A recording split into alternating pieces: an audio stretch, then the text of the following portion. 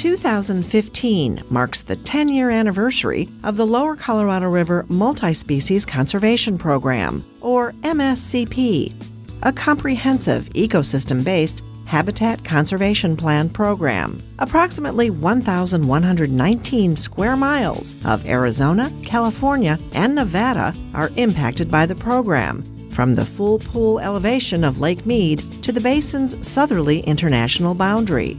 The lower Colorado River system is a critical water, hydroelectric power, recreational, and cultural resource for more than 25 million people and 2 million acres of irrigated agriculture. It is also home to thousands of plant and animal species that rely on habitat associated with the Colorado River.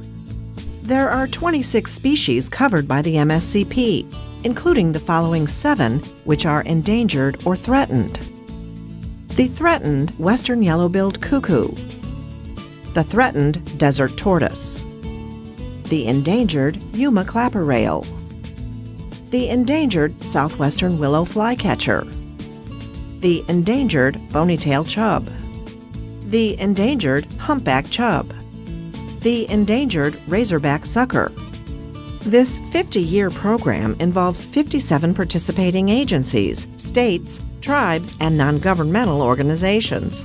Its estimated total cost of $626 million is split 50 50 between the federal government and the lower Colorado River Basin states of Arizona, California, and Nevada.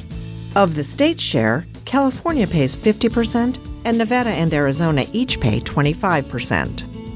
The MSCP is one of four environmental programs in the Colorado River Basin. The three others include the Upper Colorado River Native Fish Recovery Implementation Program, the San Juan Basin Recovery Implementation Project, and the Glen Canyon Dam Adaptive Management Program.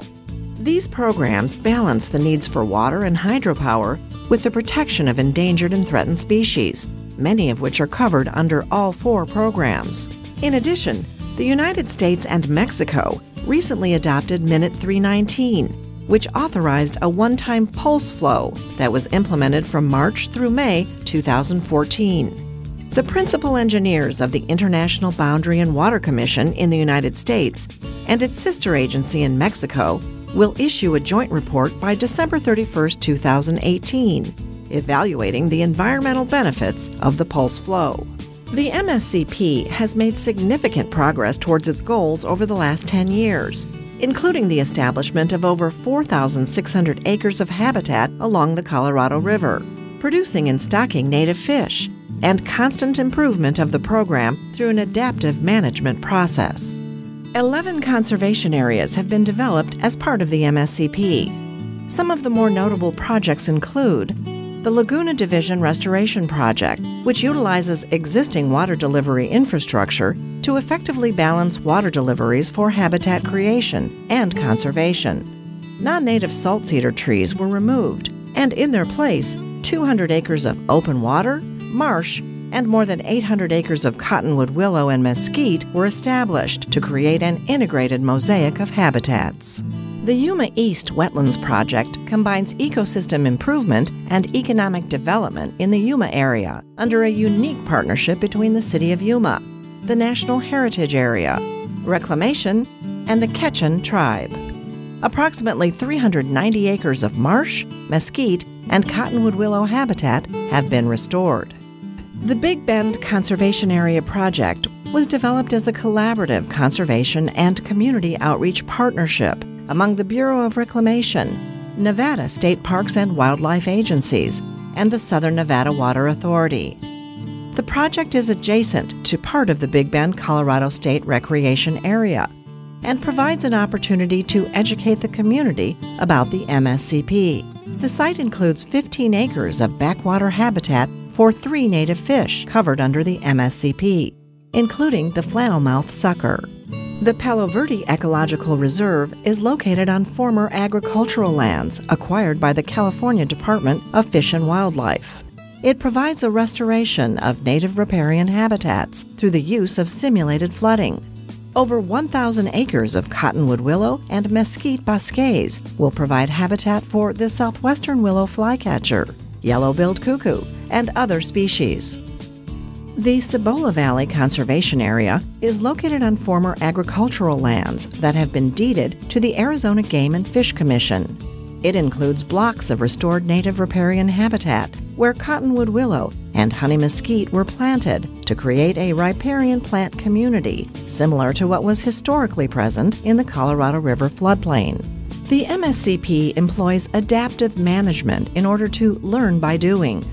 This enables its actions to be revised and money to be reprogrammed as appropriate in order to address species and habitat needs based on management outcomes, new research, and monitoring information.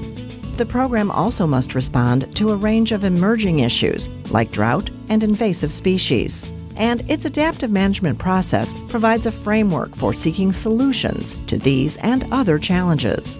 Over 200,000 razorback sucker and almost 60,000 bony-tailed chub have been stocked in coordination with state wildlife resource agencies like the Arizona Game and Fish Department, California Department of Fish and Wildlife, and the Nevada Department of Wildlife.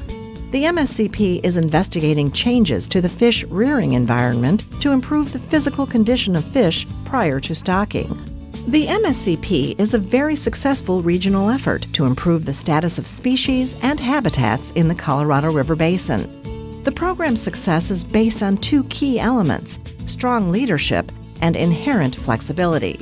The MSCP's leadership is provided by a steering committee with wide representation by the funding entities representing land, water, and power interests. Cooperation between both federal and non federal parties allows for effective, coordinated efforts to address critical habitat and species needs. And the structure and management policy create an inherent flexibility for this 50 year program. This enables those involved to problem solve as new issues arise and to adjust implementation and management accordingly. 10 years in, and with solid progress made, the goal of the multi species conservation program remains the same to achieve a sustainable balance between the needs of the region's intricate ecosystem and the needs of over 25 million people who depend on the water, power, cultural, and recreational resources provided by the Colorado River system.